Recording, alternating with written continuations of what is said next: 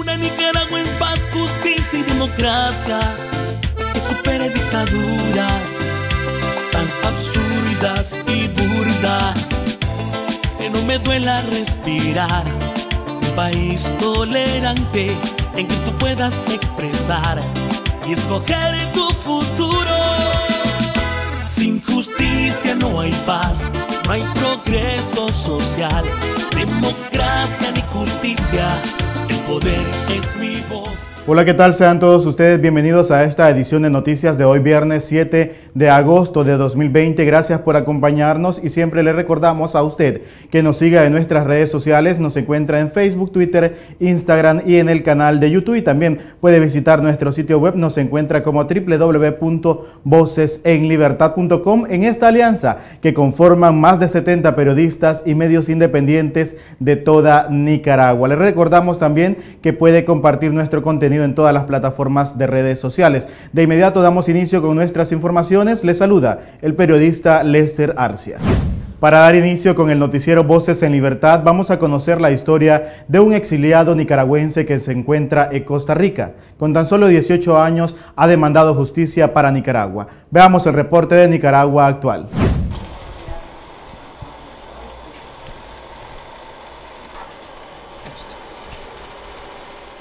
Mi nombre es Josuel Antonio Martínez, tengo 18 años, actualmente exiliado en Costa Rica, joven activista, defensor de derechos humanos, exiliado, estudiante. Por lo general desde que me levanto estoy pensando en qué voy a hacer en el día. Actualmente dirijo el Observatorio de Derechos Humanos de la Asociación Nicaragüense por un Futuro Mejor, estamos realizando diferentes programas de protección y defensa de los derechos humanos. Uno es el promover los derechos humanos de los migrantes nicaragüenses acá en Costa Rica, la inserción social y laboral a través de la cual nosotros brindamos diferentes tipos de cursos técnicos a través de becas. Tratamos de facilitar becas en el Instituto Mixto, eh, en el Instituto ¿verdad? Técnico de Costa Rica A mis 18 años de edad ya he llevado esa denuncia eh, a niveles internacionales. Estuve en el Ministerio de Relaciones eh, Internacionales de República Checa, estuve con diferentes ministros, embajadores, inclusive hasta conocí a la Premio Nobel de la Paz, Tahuaco Carman, con quien hablé sobre la situación y se sorprendió porque desconocía sobre lo que pasaba en nuestro país.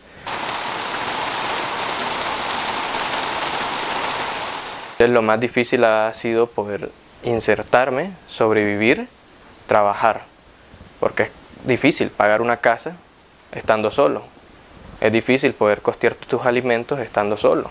18 años y yo jamás esperaba poder salir de mi tierra, ni siquiera lo imaginé y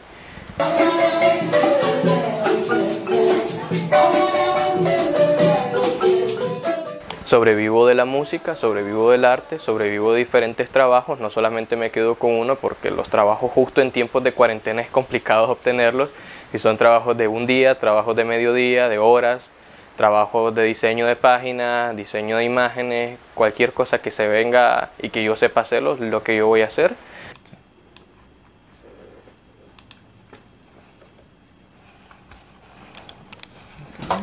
Sí, sí vale la pena defender derechos humanos en un país muy complicado eh, que no respeta los derechos humanos porque sentís esa satisfacción de poder ayudar a alguien a buscar justicia, de poder ayudar a alguien a buscar lo que se merece, el respeto a sí mismo. Sentís esa satisfacción de poder ver a alguien sonreír después de tanto sufrimiento. Muchas vidas se salvaron gracias a la defensa de derechos humanos, entonces sí vale la pena porque la vida humana vale la pena buscar cómo defenderla, porque la vida de las demás, la integridad de las personas, vale la pena defenderlo. En reiteradas ocasiones hemos dicho de que el coronavirus no discrimina a nadie. Conozcamos la historia de un monje franciscano que falleció a causa de coronavirus en Estelí. Veamos. El sucesor del padre Jaime Valdivia será decidido por los monjes contemplativos albertinianos de la regla de San Agustín. El jueves 30 de julio falleció el padre Jaime Valdivia Pinel a consecuencia del COVID-19 en un hospital de Managua. Cinco monjes resultaron contagiados, pero el padre Jaime, quien cumpliría 65 años el 30 de agosto, tuvo que ser internado en el Hospital Bautista de Managua por ser también un paciente diabético. La historia del padre Jaime Jaime Valdivia ha conmovido a los estelianos por el carisma y la entrega a su fe católica. Entre otras funciones que desarrolló este sacerdote fue la de promotor y defensor de derechos humanos cuando la ANPDH fue una dependencia de la diócesis de Estelí bajo la dirección del obispo Juan Abelardo Mata. Ánimo hermanos, la estafeta en esta carrera de relevos ya le toca llevarla a ustedes y preparar la venida de otros, empujar este grito de vida y de esperanza.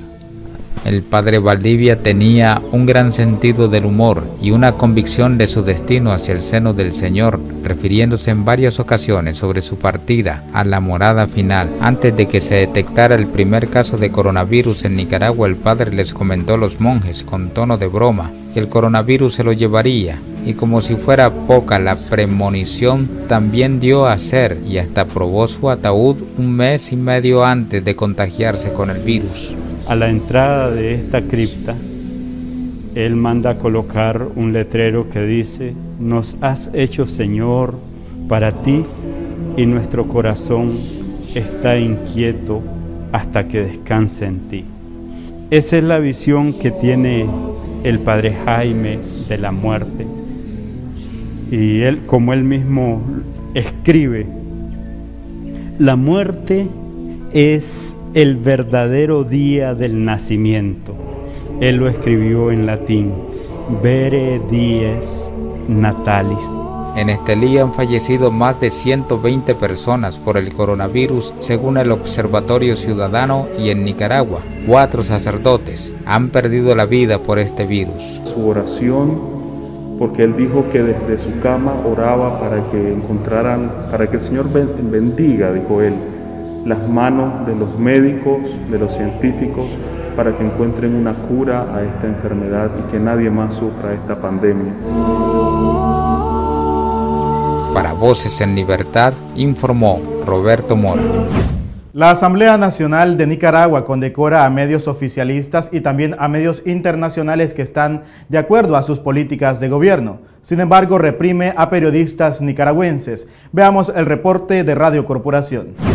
Como un acto de doble moral, han catalogado periodistas independientes la entrega de la Orden de la Independencia Cultural Rubén Darío a la presidenta de Telesur. Rubén Darío a un medio de comunicación internacional se contrapone con lo que el gobierno hace con medios nacionales. A los medios nacionales, bueno, a los periodistas los manda a asediar, los manda a golpear, los manda a robar. A los medios también los manda a incendiar, como es el caso de Radio Darío, los manda a robar.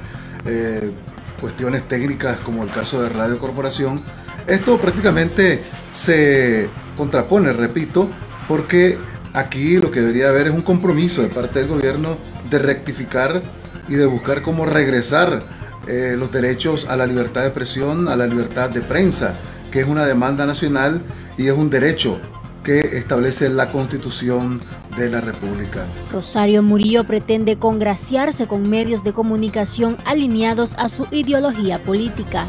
Están premiando a, a qué tipo de medios de comunicación. Están premiando a medios que obedecen eh, a una línea política que respaldan una serie de violaciones a derechos humanos que no son sinceros en sus coberturas. Abigail Galo, Noticiero en línea.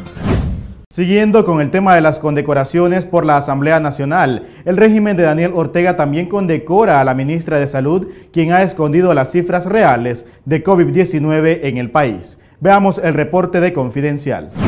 La Asamblea Nacional controlada por el orteguismo condecoró este jueves a la ministra de Salud Marta Reyes, señalada por el mismo personal médico del país de ocultar los datos reales y administrar un subregistro de la pandemia del COVID-19 en Nicaragua. Según el Ministerio de Salud, en el país existen 3.902 casos positivos y 123 fallecimientos desde el inicio de la pandemia en Nicaragua, mientras que el Independiente Observatorio Ciudadano registra 9.044 casos sospechosos y 2.537 muertes asociadas al COVID-19, y los datos oficiales sobre las actas de defunción entre el 15 de marzo y el 30 de junio revelan una sobremortalidad en el país que eleva a 21.1 muertos por día por causa de neumonías y un total de 4.429 muertes sospechosas por coronavirus.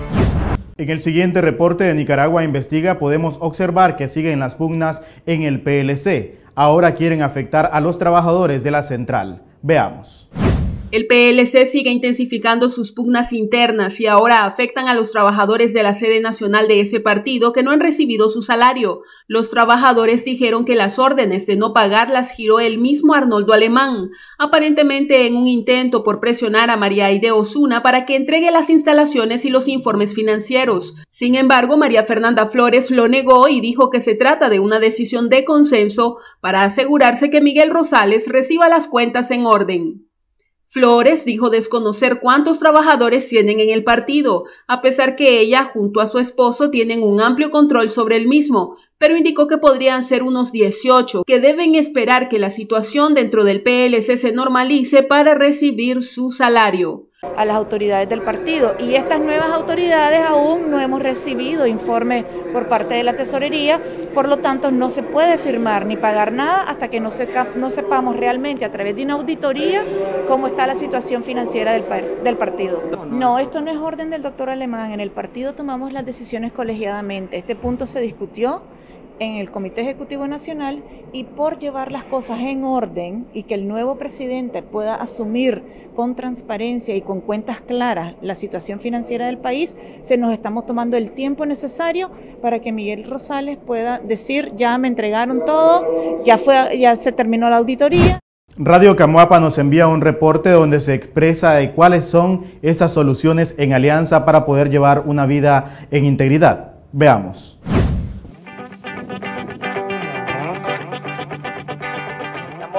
Por amor. Eh, es importante pues trabajar por amor, pero es decir, estamos trabajando para que nos miren trabajar.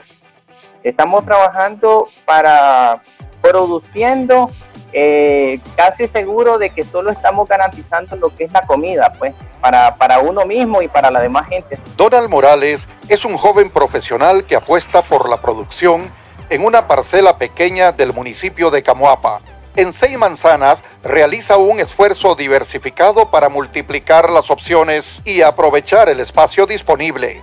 He venido trabajando desde hace un par de años en el tema de la reforestación, estoy cultivando verduras, eh, estoy cultivando el pasto incluso para ganado, estoy reforestando con diferentes especies, especies maderables, eh, como árboles como genícero, caoba, eh, pochote, Brasil.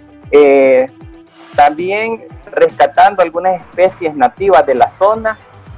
Eh, bueno, estamos haciendo un poco de todo, Juan Carlos. Ahorita, sobre todo, me dispongo a un proyecto de cosecha de agua para aprovechar lo que es el invierno, las lluvias del invierno. La señora Virgenza Gómez se dedica a la producción desde hace varios años. Ella está integrada en una cooperativa que promueve la producción. Bueno, son dos similares, ¿verdad? La ganadería eh, y la agricultura una parte, una parte de hortalizas. Doña Virgenza también habla sobre las limitaciones impuestas por la crisis sanitaria, que ha afectado por igual a todo el sector productivo sin importar su tamaño. Bueno, mis limitaciones son un, una, ¿verdad? La primera, que como uno ya no puede salir, ¿verdad? Todos tenemos que estar cuidándonos porque tenemos que evitar y protegernos, tanto a uno como a nuestra familia. Entonces, las limitaciones han sido esas de que ya no puede salir uno. El ingeniero Ignacio Bodán cree en la importancia del esfuerzo compartido para enfrentar la crisis. Nosotros tenemos una, una campaña la vez pasada, hace como tres años, cuatro años, de la fabricación de, eh, biodigestores en la, en la zona rural. Y yo di, di a hacer uno, pues. Salió unos 22 mil córdobas, ahora sale mucho más caro. El programa nos daba la, mano de obra, nos daba la mano de obra y nosotros poníamos el material. Y con el biol, eh, lo que produce el, el biodigestor son dos cosas. Uno, produce gas para, cocinar, evitar quemar leña. Y dos, es, la generación de biofertilizante de alta calidad como es el biol. Además de ser dirigente cooperativo, Bodán produce en su propia finca ubicada en el Cerro Mombachito. Caso de la leche la, se está dando a 35. Eh, los derivados lo mismo. Y, y, la agrícola quizás ha mejorado un poco porque los frijoles ahora están más caros. El maíz está un poco, tiene más precio, tiene mejor precio, sí, todavía. Eh, nosotros producimos pitayas y, y la hemos estado vendiendo barata. La crisis sanitaria ha encarecido varios productos necesarios para el trabajo en las fincas, pero quienes producen apuestan por el esfuerzo de cada día. Lo principal es la limitación económica, Juan Carlos. Uno quiere hacer más, uno tiene la idea de hacer más, pero con las limitaciones económicas lamentablemente se puede quedar con lo que tiene. Eh, las limitaciones han sido, por ejemplo, el encarecimiento de lo que son las semillas, eh, los costos se suben con el tema de los traslados, entonces uno no puede hacer poco, pero sin embargo esto lo he, lo he logrado superar estableciendo alianzas. Eh, actualmente soy miembro de la cooperativa Unión Camoapa y desde este proyecto eh, los demás productores me han podido apoyar con semillas, también con asesoría técnica, que ha sido muy importante para eh, echar a andar mi proyecto también, Juan. Desde Camoapa, provincia ganadera de Nicaragua, informó para Voces en Libertad Juan Carlos Duarte Sequeira. Amigos y amigas, seguidores y seguidoras del noticiero Voces en Libertad, a continuación veamos el reporte que han preparado nuestros aliados de República 18. 29 asociaciones y sociedades médicas instaron a formar una cuarentena voluntaria ante un posible rebrote de COVID-19 en Nicaragua. Nicaragua ya tuvo la primera tormenta y dejó una mortandad desastrosa entre 4.000 y 5.000 fallecidos, consideramos nosotros como unidad médica. Eso significa que más de 100.000 nicaragüenses fueron contagiados. Relajarse las medidas y al tener muchas personas la percepción de que la pandemia ya ha bajado su intensidad, empiezan a descuidarse, empiezan a no usar mascarilla, a aglomerarse, a participar de actividades sociales. Eso es lo que necesita el virus para volverse a dispersar y para volver a contagiar. Entonces, ojo, mucha atención. El COVID le puede destruir la vida, puede destruir a su familia, le puede destruir su juventud con el COVID no se juega, el COVID mata y el COVID puede dejar secuelas gravísimas. No seamos necios, no seamos insensatos, escuchemos la advertencia de la ciencia. No olvidemos que Dios le dio la ciencia al hombre para que protegiese su vida. Es más de insensato desafiar lo que ya conocemos como peligroso.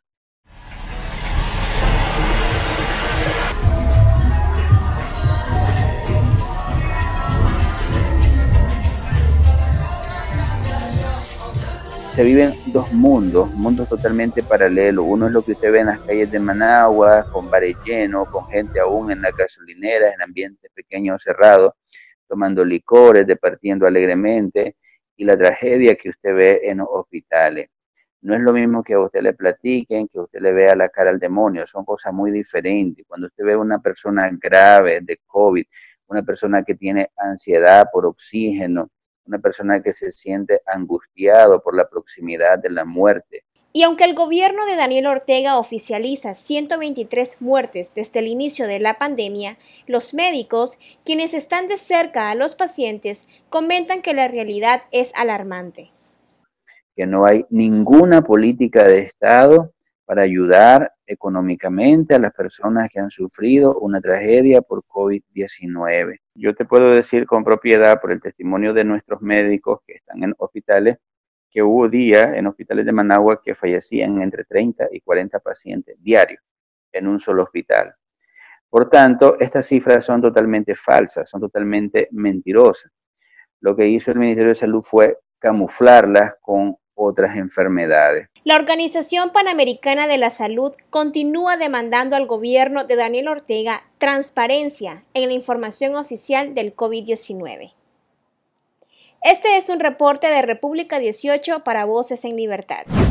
Gracias a nuestros hermanos de República 18 por este reporte y de esta forma hemos llegado nosotros al final del noticiero Voces en Libertad, siempre agradeciéndole a usted por la fidelidad y por compartir nuestro contenido. Recuerde buscarnos en nuestras diferentes plataformas de redes sociales, encuéntrenos en Facebook, Twitter, Instagram y en el canal de YouTube, además de nuestro sitio web en www.vocesenlibertad.com. Recuerde también que esta es una alianza que conforman más de 70 periodistas y medios independientes de toda Nicaragua. Es meritorio que usted tome las medidas pertinentes para evitar el contagio del COVID-19, entre ellas lavado constante de nuestras manos, distanciamiento social y la utilización de mascarillas. Les acompañó Lester Arcia en esta edición y nuestro deber es informar y su derecho es estar informado. Tenga un excelente fin de semana.